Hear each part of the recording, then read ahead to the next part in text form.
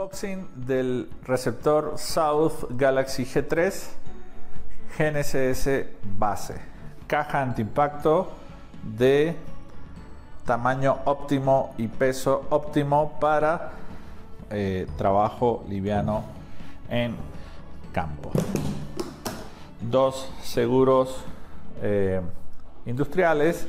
Tenemos el receptor Galaxy G3 tenemos la placa de medición de altura de antena para realizar la medición precisa y exacta de eh, la altura inclinada cuando lo utilizamos en un bastón cargador con entrada universal tipo USB-C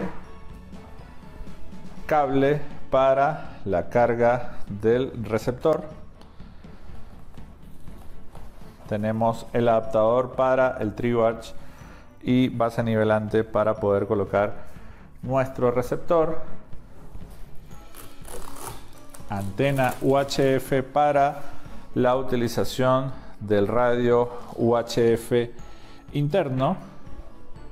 El receptor base cuenta con una extensión o un bastón extensión de aluminio de 30, de 30 centímetros de eh, altura o de longitud para poder darle altura al receptor y que su antena UHF no choque contra la base nivelante. Y para aquellas personas que eh, requieran del radio externo tenemos el radio externo South modelo S1 también con lo que sería el cable para la conexión de energía a través de una batería y los dos puertos que sería para el receptor GNSS y para el radio UHF. Adicionalmente trae un compartimiento, la caja, en donde nosotros podemos, por ejemplo, eh, colocar algún tipo de accesorio adicional que podamos requerir en campo, como por ejemplo un flexómetro o eh, una libreta de campo. El radio externo también cuenta con una antena látigo, la cual va fijada a lo que sería otro trípode y con un bastón extensor que es la que le permite poder amplificar la señal al radio S1.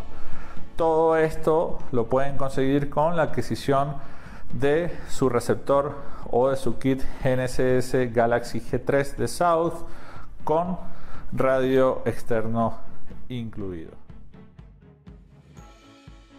Unboxing de receptor Rover South Galaxy G3.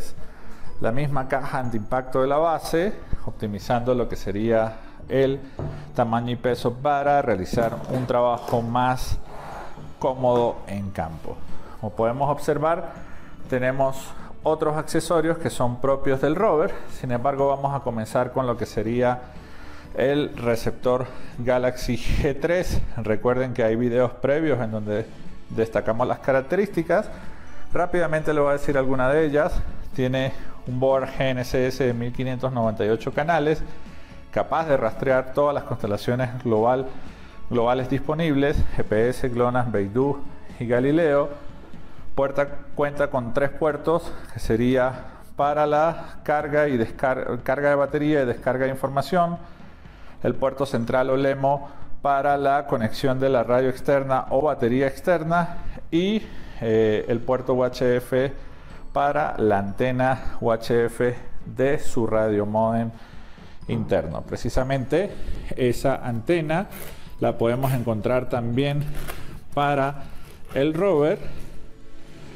Podemos encontrar la placa de medición de altura de antena en el caso de que nuestro rover lo querramos utilizar como eh, rover para mediciones estáticas sobre un trípode y para poder instalarlo tenemos lo que sería el adaptador para el TriWatch y la base nivelante.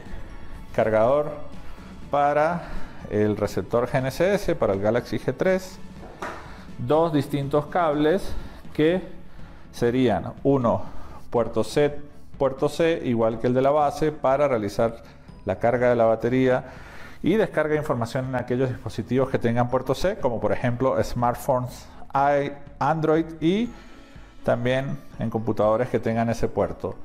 Y puerto C tipo, tipo C a tipo A para aquellos computadores que aún mantengan esos puertos. Tenemos la colectora H6 de protección industrial.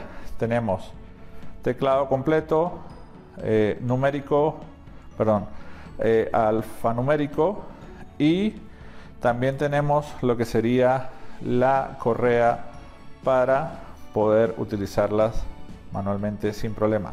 También recibe GNSS, con lo cual ustedes podrían manejarla como un equipo de navegación. Eh, tenemos el bracket para lo que sería poder precisamente fijar eh, la controladora a un bastón.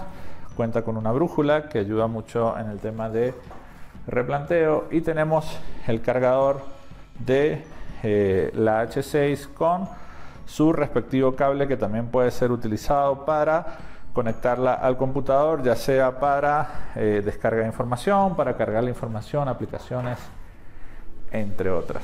También cuenta eh, la caja con ese bolsillo para poder llevar accesorios adicionales como flexómetros o libretas de campo.